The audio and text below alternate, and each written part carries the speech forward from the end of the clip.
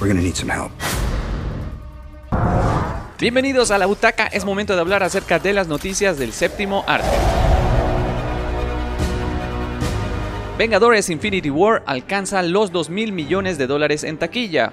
Mes y medio después de su estreno y pese a la llegada a la cartelera internacional de películas como Deadpool 2 o Han Solo, Vengadores Infinity War sigue arrasando en los cines. Tanto es así que el film dirigido por los hermanos Russo ha recaudado 2 mil millones de dólares en taquilla internacional según ha informado Forbes. Así, la superproducción de Marvel entra a formar parte del selecto club de las películas en alcanzar esta cifra, conformadas por Avatar, Titanic, Star Wars El despertar de la fuerza y por supuesto ahora Vengadores Infinity War.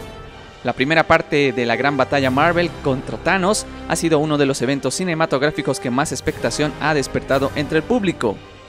La película de los hermanos Russo también ha contado con el respaldo de la crítica y no tardó en empezar a cosechar éxitos desde su estreno.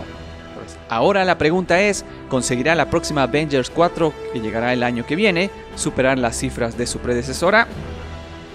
No lo sabemos, pero mientras tanto te dejamos con esta imagen que se filtró en el Cine Europe celebrada en Barcelona esta semana, donde aparentemente se mostró las primeras imágenes de los estrenos más esperados de Marvel para el 2019.